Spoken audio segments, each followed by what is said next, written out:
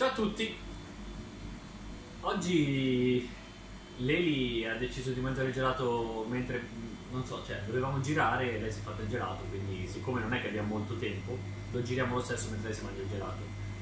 Tra le varie domande che ci avete fatto l'altra volta, qualcuno ci ha chiesto che differenza c'è tra il gelato industriale e quello artigianale.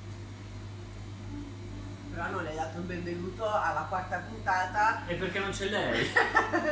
della rubrica settimanale Moio lo so, sponsorizzato da Moio Lab. Esatto. Ciao.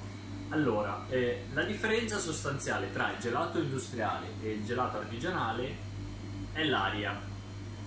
Cioè, dentro il gelato industriale c'è circa il 100-110% di aria. Cioè vuol dire che metà gelato è fatto d'aria. Mentre nel gelato artigianale più o meno siamo intorno al 30-40%. Il termine tecnico è overrun. Se poi andate a cercare Google vi dirà che cos'è di preciso.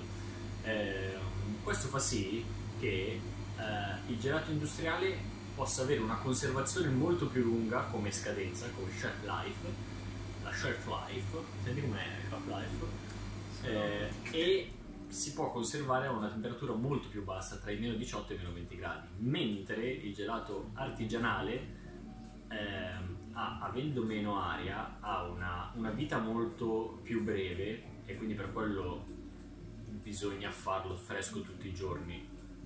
E cosa stavo dicendo? L'aria. L'aria, l'aria, l'aria, esatto, esatto. Ehm, e quindi eh, avendo meno aria eh, risulta anche un pochettino più... eh,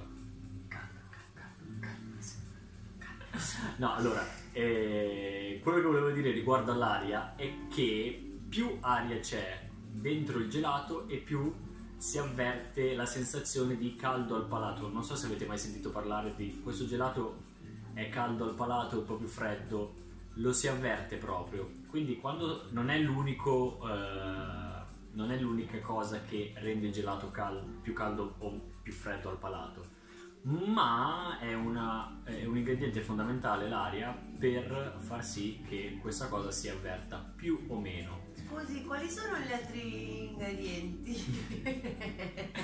Gli altri ingredienti dipende, ci sono cioè, il tipico fior di latte, c'è latte, panna, zucchero, eh, l'aria è un, un ingrediente molto importante. No, non ho fatto bene la domanda, Ci- mi scusi. La- gli, altri, gli altri ingredienti per far sì che... gli altri componenti per rendere caldo il gelato. Allora, Cioè, alcuni, eh, ve ne dico un altro, alcuni usano il latte in polvere per far sì che il gelato al palato venga più caldo, quindi più latte in polvere si mette e più si avverte quella sensazione di caldo al palato. Un'altra differenza sostanziale tra il gelato industriale e il gelato artigianale è il nome. A livello internazionale il gelato artigianale è gelato, non viene tradotto con ice cream, perché l'ice cream è il gelato industriale. Quindi se andate all'estero, in paesi anglosassoni soprattutto, non usate la parola ice cream per chiedere un gelato, perché sennò loro vi danno il cornetto argida, che per quanto è buono, il cornetto argida uno se ne mangerebbe 10 e se ne mangerebbe 10 perché dentro c'è tantissima aria e quindi uno se ne mangia uno dice vabbè me ne mangerei un altro. Mentre se andate a chiedere un gelato, loro vi indicheranno una gelateria artigianale, perché il gelato è, credo, l'ultimo prodotto italiano per eccellenza. Cioè non c'è stata una cinesata che ha, ha sostituito il gelato, tipo il parmesan eh, o altre... Cosa? Si possono dire. o altre cagate del genere che hanno fatto per copiarci. Eh, poi fortunatamente adesso con il DOP, IGP eccetera riusciamo un attimino a come dire, certificare meglio le eccellenze del nostro paese. Però il gelato eh, dovrebbe essere l'unico prodotto italiano al 100% che cioè, ha provato a copiarci ma ha fatto l'ice cream e non è il gelato. Il Questo- gelato è proprio buono. Questa puntata è stata fantastica perché non avete sentito, o meglio, avete sentito pochissimo l'Elisa parlare. E niente, ragazzi, direi che. Stop. Allora, è perché lui è più bravo a spiegare queste cose. Semplicemente io sono più brava a fare gli esperimenti organolettici, diciamo. Mm. Lui la, la teoria. Sì. Io perché che senso ha? Magari prossi- prossimamente potremo fare delle selezioni per degli assaggiatori.